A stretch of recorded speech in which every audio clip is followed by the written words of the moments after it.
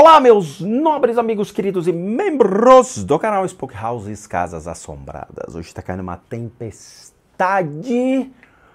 Foi o dia inteiro assim, caindo um maremoto. Estou tentando gravar por quê? Porque já acabou a luz duas vezes e até desligou o vídeo aqui, eu tive que achar o ponto novamente, não é mesmo? Infelizmente, quando chove aqui em casa, é, ou trovão, dá um trovão, a câmera desliga tá? Até porque essa câmera ela fica conectada na tomada. As baterias elas não têm uma qualidade tão boa assim e não perduram o tempo de gravação. Então eu tenho um cabo que conecta a câmera na Tomades. Mas vamos lá, hoje nós vamos continuar a análise do Clovis, que fez lá a evocação do El Diablo. Nós já explicamos a vocês o conceito de diabo na primeira parte do vídeo, o que é, como surge os conceitos, qual a literatura legal para que vocês possam entender e compreender melhor essa figura mitológica criada pela Igreja Apostólica Romana e depois passa a transitar nas ramificações da ortodoxa e das neopentecostais. Ela não é uma figura que transita em outras religiões, pois eles têm uma ressignificação do conceito de mal, tá? Então, obviamente, o mal ele está intrinsecamente ligado ao próprio ser humano, é o ser humano que faz o mal, que comete o mal. Somos nós a própria natureza dual da coisa. Outras religiões trazem muito mais esclarecimento, uma vez que o cristianismo então ele busca explorar mais a imagem de um mal externo para que as pessoas paguem então o dízimo à igreja, fazer com que a igreja então proteja as almas daqueles que doam grana. Quer uma prova legal disso? Antigamente, nas igrejas da Idade Média, você vai perceber que existiam túmulos, túmulos reais de mármore com anjos, com um monte de coisa, dentro da própria igreja. Nós não estamos falando, por exemplo, de túmulos de padres, pastores ou ministros, bispos e tudo mais, que muitas vezes ficam ali no subsolo. Na igreja da Sé, por exemplo, lá no subsolo temos, né, pelo que eu sei, tem um cemitério lá, o São Bento tem lá, o lugar onde são enterrados então aqueles que são devotos e vivem enclausurados ali no, no monastério de São Bento.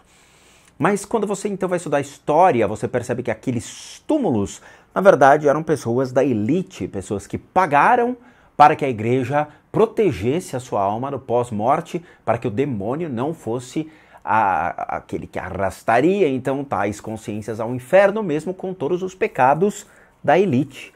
História muito legal, vai estudar, querido, tá? Isso significa então que a propina rolava solta naquela época, tá? Então assista a primeira parte que é bem legal, a gente já identificou dois obsessores. E a gente vai continuar então analisando o vídeo do Croves para ver até onde vai. Ah, mas antes eu preciso pegar o sal. Sassal. Como no ritual, pessoal, não tava falando nada, sei lá, sal fino ou até mesmo sal grosso, eu vou usar o sal. Sal grosso é aquele sal que é mais agressivo? Rapaz, esse sal é grosso. É o que normalmente eu uso, que é o sal grosso, né, mano? Enfim, tá aqui. Eu tenho um salzinho justamente para usar nos rituais e fazer nas coisas. Ele tem um pote específico para os rituais. Esse é um profissional da mandinga. O cara tem. o cara tem um pote específico escrito sal. Ele devia colocar lá sal consagrado contra o diabo. Ele devia colocar o adesivo, sal consagrado contra o diabo. Não, eu acho legal o cara ter o kit específico e tudo, tudo montado para fazer os a, as lendas, as histórias. Eu acho legal, acho que o cara mostra que ele tá tecnicamente ali preparado, né? Nossa, mano, eu tô tranquilo, mas, mano, dá um. Dá um cagaço, velho. A criatura está cá. de novo aqui, velho. Caralho, mano, sei lá, tá dando ruim já. Eu vou posicionar a câmera aqui de um jeito que eu consiga. Deixa eu mexer no meu ventilador aqui. Verem. Acho que eu vou posicionar aqui, calma aí. Som ambiente. Ó, o ser tá aqui, ó. O outro ele fica aqui.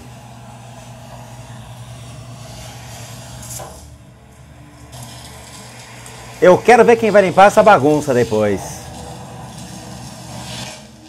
Será que ele usa o mesmo sal de novo? Ele coloca no pote e usa de novo? Ou ele descarta? Essa é uma excelente pergunta. Não vai dar, hein? Vai com calma aí.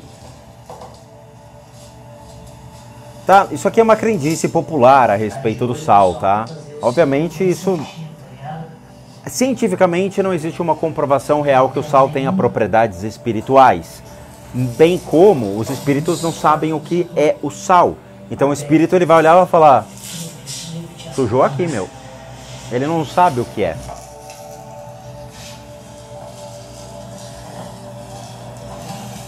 Ele entra no mesmo critério, por exemplo, da cruz.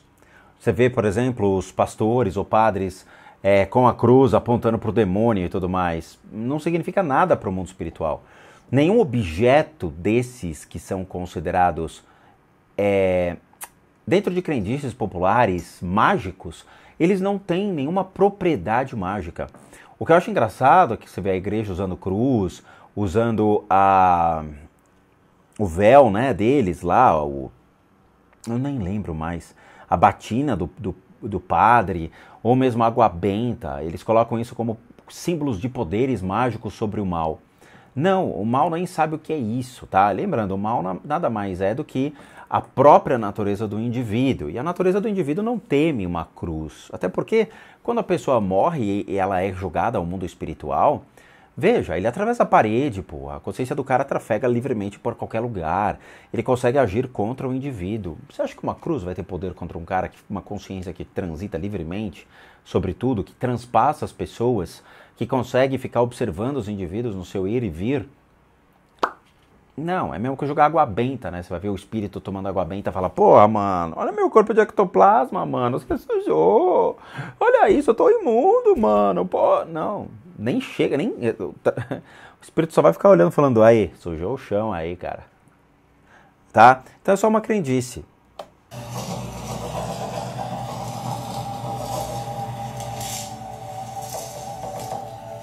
Tá, pessoal, não sei se vocês estão conseguindo visualizar. Mas falta um. Um tá aqui também. Ali. Senão eu filmo pra vocês, o círculo tá aberto. Tá vendo ali, ó? O círculo tá totalmente perfeito ali, ó. Não tem nenhuma Perfeito no sentido de, de aberturas, tá ligado? Nossa, eu tô ofegante, cara, nesse ritual, não sei porquê.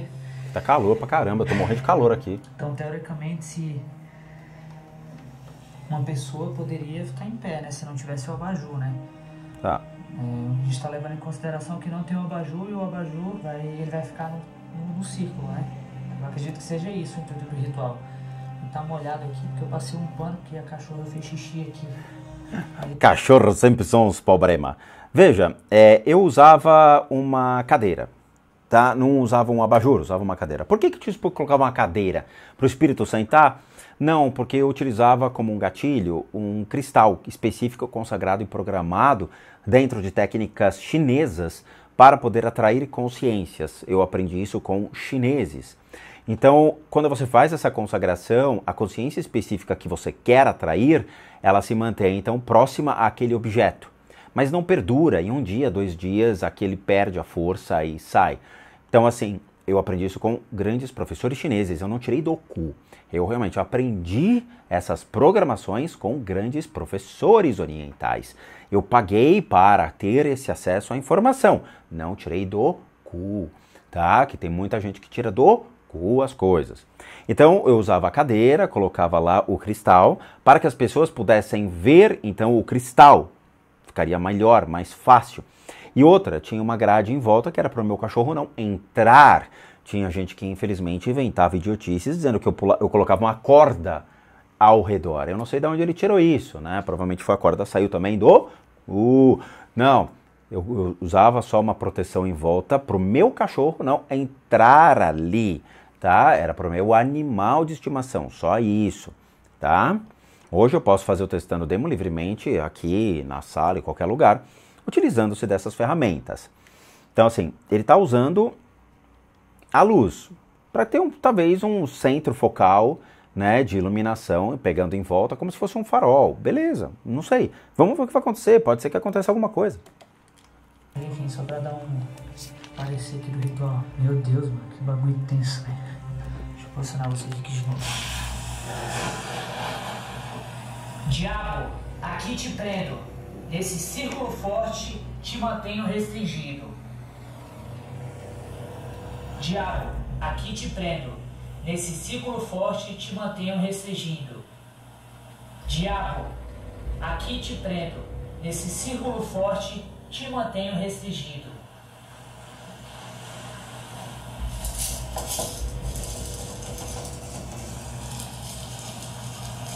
É, tem, temos uma coisa interessante a ser observada. Pensa comigo. Você está comandando uma energia que seria um diabo. O conceito do diabo, então, ele seria o mais denso, mais forte, mais agressivo, o ser mais inteligente, o ser mais astuto, de acordo com a mitologia cristã. Ok?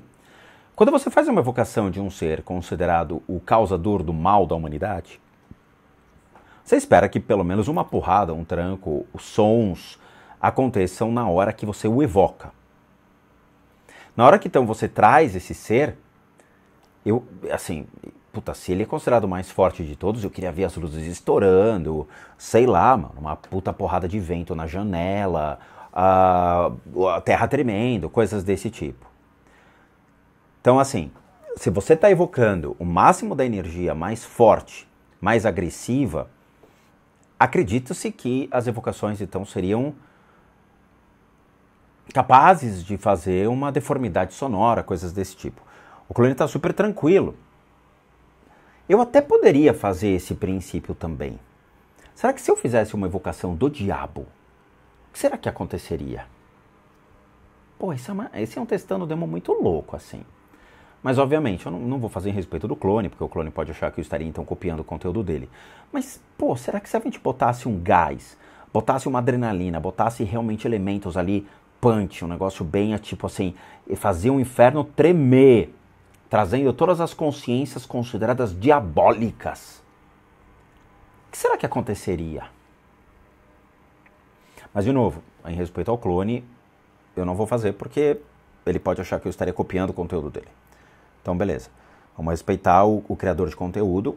Ele está trazendo um conteúdo que ele está evocando o diabo. Mas seria complicado você fechar o círculo com uma energia tão maléfica dentro. Eu não conseguiria. Porque aí você estaria com um boom de energia tão grande, tão densa dentro do círculo, que ao tentar fechar, você não conseguiria se aproximar. É só uma coisa minha. Eu estou pensando com os meus botões na hora que se eu fizesse o testando demo com o diabo, o que que aconteceria? Tipo, eu estou refletindo comigo, tá? Comigo. Imaginando como isso aconteceria. Porque esses seres, eles estão parados no lugar observando o clone. Eles não se moveram ainda. Então eu tenho um aqui, e é curioso porque o clone continua com ponto, pontos fracos expostos. Então, facilmente qualquer ser poderia se conectar, principalmente ao ponto da família, onde vai envolver a cabeça do fêmur, vai envolver o ponto da coluna, a base da coluna. Então, ele pode vir a ter muitas dores na região da base da coluna e no fêmur, nas pernas, tá? Porque aqui tem uma exposição maior ao ponto de energia.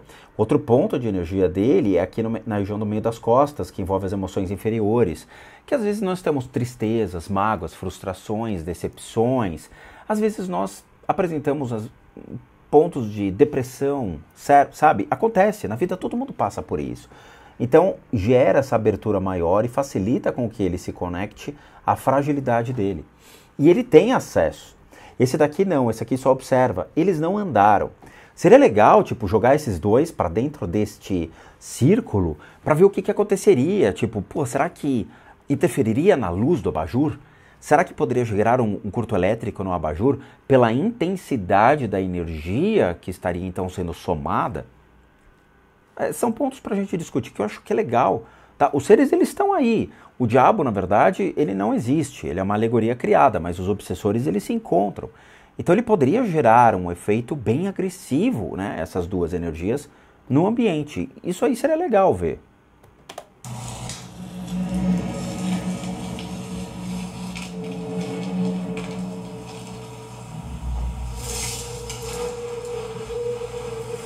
A musiquinha é do mal, né? O clone está apreciando o diabo.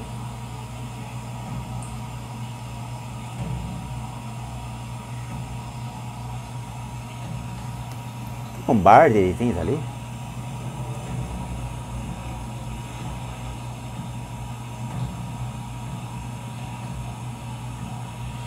Tá estranho, mano, o ambiente, tá ligado? Está um enorme ponto de interrogação, porque na verdade os dois os seres estão observando e nada está dentro do círculo. Nenhuma energia está dentro do círculo. Na verdade, os seres estão ao redor do clone. É, esses seres podem gerar um ponto de interrogação, que é exatamente o que está acontecendo aqui. A gente tem um ponto de interrogação dizendo: tem algo no ar, mas eu não sei o que é. Eu já senti essa energia, mano. É um bagulho meio. Não é pesado, mas é um clima meio. É um ponto de interrogação.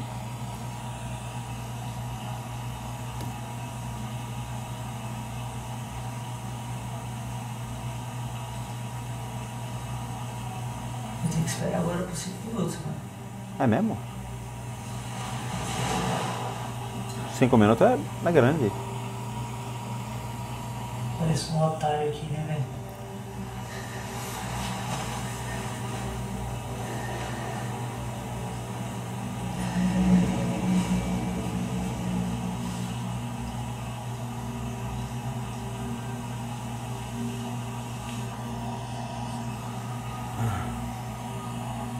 Já, cadê você? Aí vai aparecer: Estou de férias em Bahamas. Deixe sua mensagem após o sinal. Cara, é muito alto. Estou de férias. Não, o cara vai fazer o teste agora em dezembro para janeiro. Já pode estar de férias. Estou de férias. Mim. Tem um bagulho atrás de você. E tem aqui, ó. Esse daqui é o mais. Crovis, atrás de você. Aqui é tranquilo, Brody. Tá ali, ó. Vai te dar um abraço. Tá aqui. Isso aqui é tranquilo. Isso aqui é tranquilo. Crovis, olha os ombros. Às vezes o que acontece? Aos ombros. Quando tem aterramento, às vezes quando tem oscilação de energia dentro da casa, Normal. Pô, aqui em casa tá piscando uma lâmpada também, lá do corredor. Acontece isso. É, eu tô recebendo 129 volts da, da tomada. Às vezes acontece mesmo de dar uns picos. Aqui também, de vez em quando, dá umas piscadas. É, sei lá, energia de qualidade aqui no Brasil é punk. eu, quando tem oscilação da- de energia na casa, pode acontecer isso, mas no caso não é não. Normal acontecer. O coração tá muito acelerado, mano. Respira. Caralho. Respira, Caralho. respira.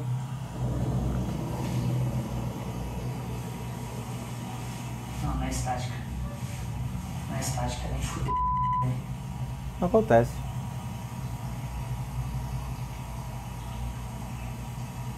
É você. Geralmente, quando acontece, por exemplo, de muita energia densa, por exemplo, você já estourou uma lâmpada na sua casa? Tem muita gente que às vezes carrega uma energia muito densa e quando pega um copo ou uma lâmpada, ela explode na sua mão. E às vezes você nem colocou força, é só segurar ele, bum, tá? Algumas pessoas vão falar que isso é energia estática, é, é uma energia, é, sei lá, sua mesmo, a estática do seu corpo, que pode interferir na lâmpada ou num copo. Tudo bem. Mas também existe aquele conceito de que a pessoa estaria, então, entre aspas, carregada. Quando a gente tem as luzes, a- uma casa pode sofrer oscilações de lâmpada, às vezes a lâmpada com uma qualidade um pouco inferior, ou realmente a distribuição de energia naquele dia não está legal. Já aconteceu aqui na minha casa, já aconteceu, já aconteceu. Tá, eu tenho uma luz aqui no corredor que de vez em quando ela pisca. E eu falo, nossa, ó, tá me mandando um tchau, né? Tipo, oi gatinho, tudo bem? Dá uma piscada para mim. Ah, isso acontece. Agora, quando você está, por exemplo, raramente aconteceu comigo. De Eu estar fazendo um processo de evocação mesmo, atraindo os seres mais densos, como o Ed Gacy, ah, o próprio Pazuzu, energias assim mais agressivas. Já aconteceu, por exemplo, de ter interferências que você consegue pegar no áudio. Então você começa a escutar interferências estáticas advindas dessas consciências.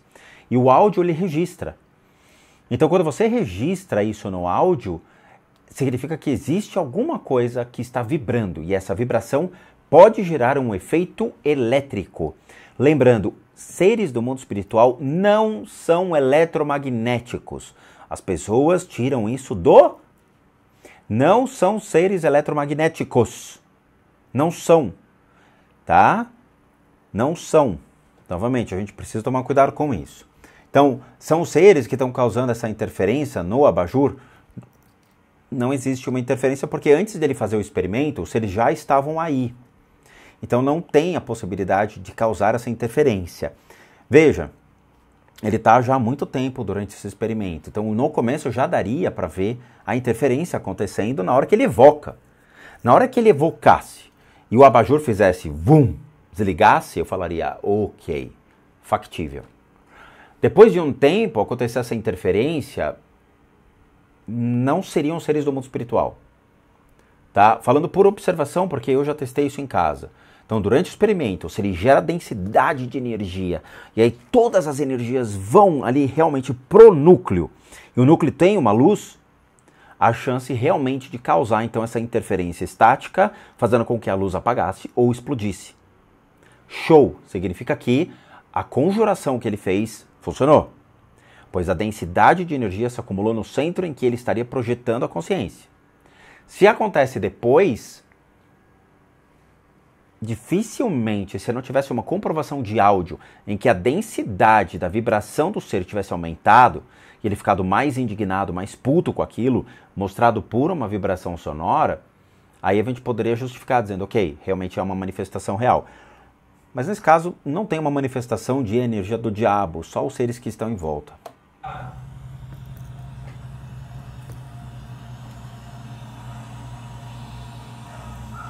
Olha os cachorros doidos.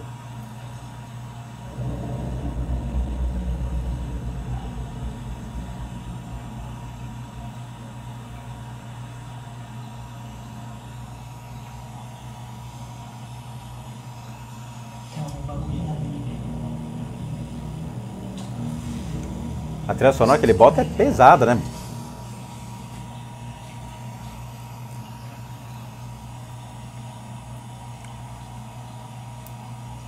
Você consegue desligar a luz?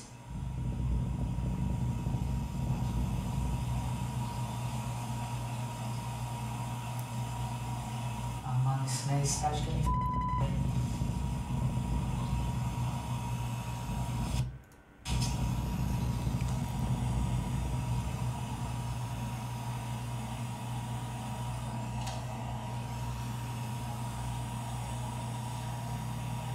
O bagulho não tá dentro do círculo não, mano.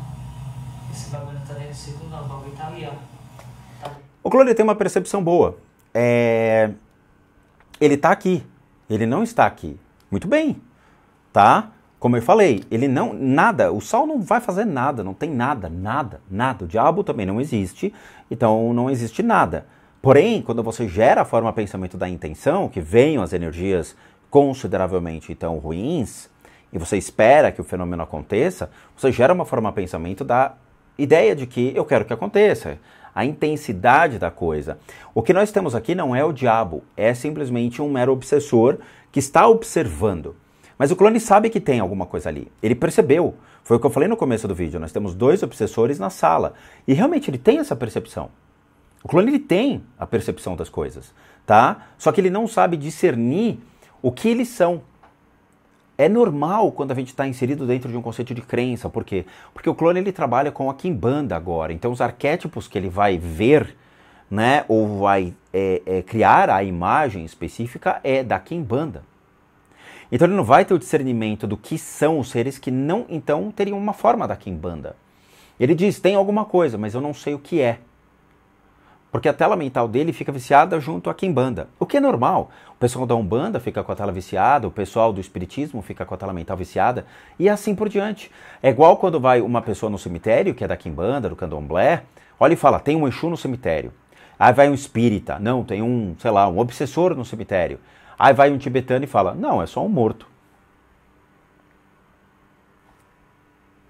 Entende? Eles conseguem ver que existe algo mas eles vão ver de acordo com a sua régua. É só isso, mas o clone está percebendo. Existe sim, clone. Existe. do lado do, do, do videogame. Tá aqui, ele tá aqui.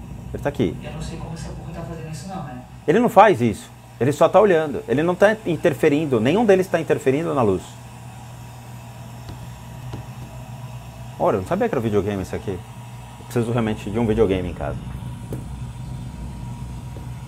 Pra mim, isso aqui parece aquela centrífuga do negócio de ar. Parece que vem muita energia, daí apaga. Vem muita energia, apaga, tá ligado?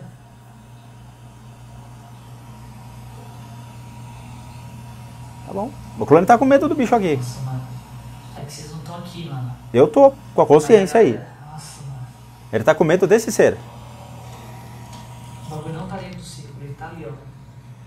Do lado do. Videogame, mano. Sim.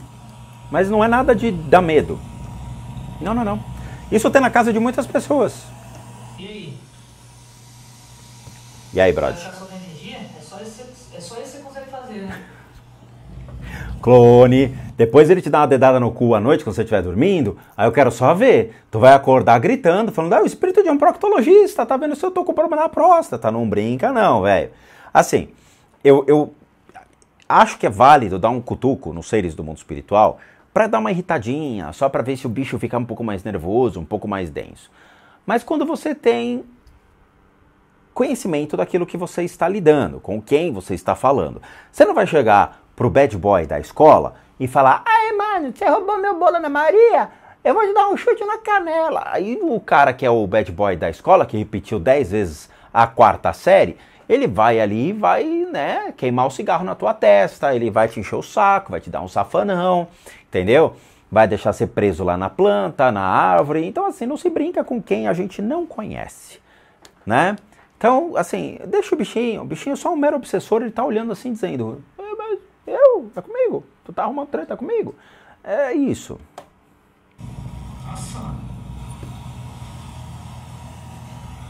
Mano. Nossa, mano. Nossa, ferrar, velho.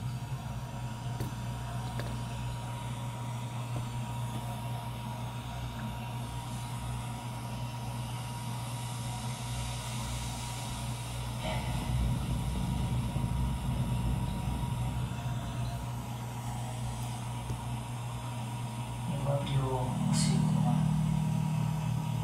Então, novamente, se fosse o diabo, as pessoas nem se aproximariam daí, né? Porque, vamos lá, você tá falando com o cara que é o temeroso da igreja, o cara que, né, faz ali a igreja pedir o dízimo.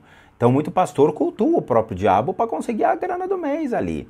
Se tu chega ali no meio da rodinha e vai falar, ah, vou abrir pro diabo passar, rapaz, isso aí vai virar o carnaval, né? Salvador, vou abrir pro diabo passar. Daí começa, vem a bateria, já o diabo passando. Tan, tan, tan, tan. Começou.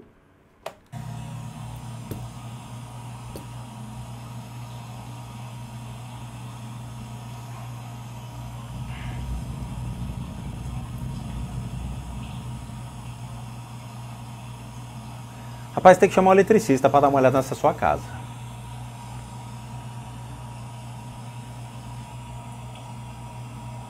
Diabo, aqui eu te liberto.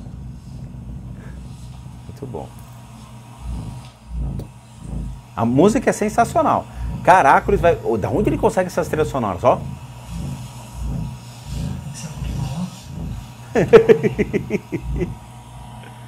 Caraca, a trilha sonora dele é um espetáculo, velho. Ah, bom.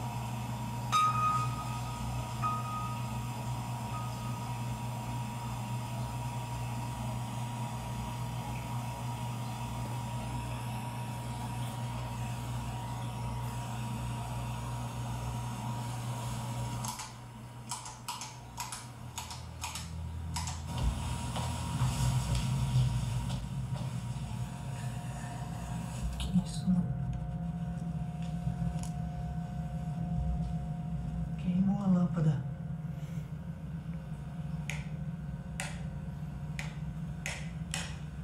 Queimou a lâmpada, mano. Queimou a lâmpada, meu irmão.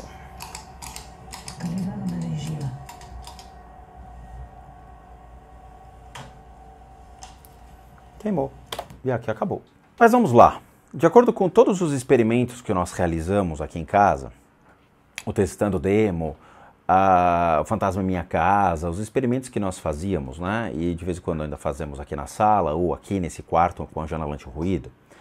Alguns fenômenos podem vir a acontecer com as lâmpadas. Não descarto essa possibilidade, não descarto. Porém, novamente, o diabo ele não é um ser metafísico real. Ele é simplesmente um ser mitológico criado por uma instituição religiosa com fins lucrativos, porque as pessoas têm tanto medo do diabo que doam muito dinheiro para a igreja para então ter a proteção do padre, do pastor contra esse ser maligno. Ele não existe, ele não tem constituição física. Isso claramente é só uma mitologia, tá? Uh, ok, basta estudar. Vamos estudar Lawrence Gardner, Gert Tyson, Rudolf Bultmann, Mircea Eliade. Estudar livros que trazem, então, o conceito do mal e como ele realmente era visto biblicamente. Então ele não é real. Então eu estaria trazendo um ser que não tem uma constituição, então ele é só uma mitologia. É a mesma coisa que evocar Thor, Odin, Hades, é só uma mitologia. Porém, todos os seres que estão ao redor, dentro da casa do clone, podem vir por curiosidade. Então ele não estaria evocando o diabo, e sim os obsessores. Nenhum deles ficou no círculo. Todos eles ficaram só fora. Significa que nenhum círculo de sal tem a propriedade, então, para atrair os seres ou permanecer esses seres lá dentro.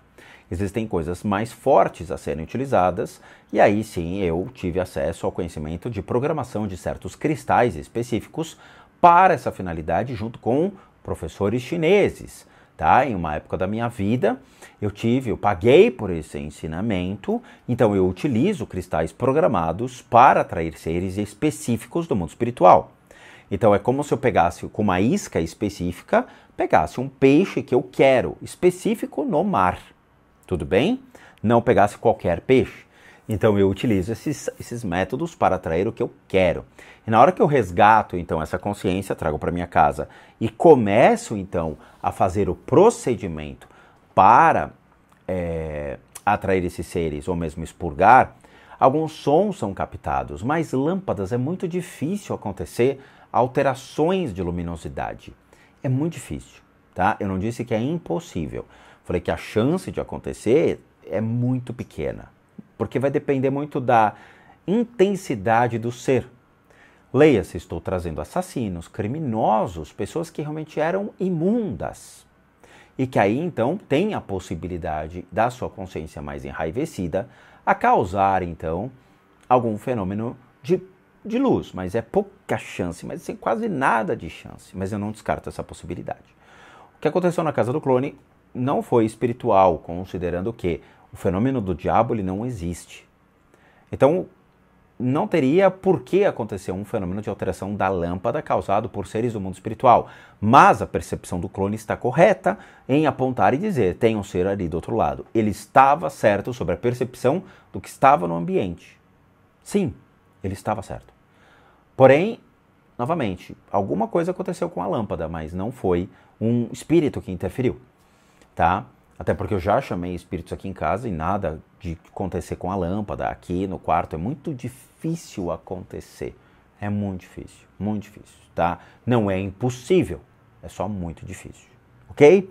Mas ok, o experimento do cara é legal. Eu gosto quando o clone ele tenta fazer esses experimentos, tenta trazer realmente a veracidade sobre o conteúdo dele. Eu acho que é assim, cara. É tentativa e erro. Uma hora pode acontecer algo inóspito. Uma hora pode acontecer algo que nem ele imagina. Algo acontece, tá bom? Então é isso. Quero agradecer a todos, muito obrigado. Obrigado por assistir o vídeo até agora. Como recadinhos finais. Todo mundo que sabe que eu, Rodrigo, sou um terapeuta, um psicoterapeuta alternativo, sou licenciado nacional e internacionalmente por institutos que me habilitam e me capacitam para que, por meio de técnicas complementares, eu, Rodrigo, possa complementar a medicina junto aos tratamentos das enfermidades físicas, emocionais e mentais, bem como as análises de casos e as limpezas de casas. E para aqueles que querem passar por isso, devem encaminhar um e-mail para limpezadecasas.gmail.com e lá vocês vão obter todas as devidas informações, bem como os respectivos valores. Sim, eu cobro porque sou um profissional das práticas integrativas complementares. Para aqueles que querem ajudar o canal, nós temos três formas de donation, PayPal, seja membro, valeu. As três encontram-se aqui abaixo, basta você clicar em qualquer uma dessas abinhas, vai ser levado a uma pagininha que você pode doar o valor que você quiser ou puder. E por último, nosso site, casasassombradas.com.br, com muita coisa legal para vocês. Vejo vocês nos próximos vídeos e bons sustos a todos nós.